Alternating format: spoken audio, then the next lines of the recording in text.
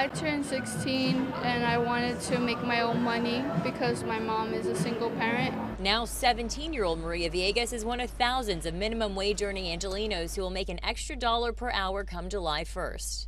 I feel excited because I'll have more money to save up to buy my car. I would like to go to college and study criminology or business, and then later on in the future be stable enough to take care of my mom. From a business perspective, is this a positive or a negative thing for you? I'm happy that the employees are going to be able to get paid more. They're going to be able to react to the inflation better. But at the same time, small businesses of this size, we're only five stores. Uh, it, it can be like an impact. In June 2015, Mayor Garcetti led the coalition to sign the $15 minimum wage increase into law. When we raised the minimum wage in LA, we became the biggest city in America to do so. Built into that wage increase, an annual adjustment for inflation starting this Friday.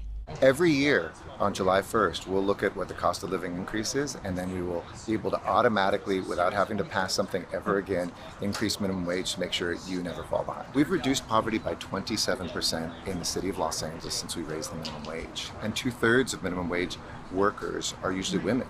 Raising the minimum wage addresses the gender wage gap. Progressive entrepreneur Joe Sanberg has committed millions of his own money to try to make minimum wage even higher for all Californians. The Living Wage Act of 2022 is going to increase California's minimum wage to $18 an hour. It'll be on the ballot in November.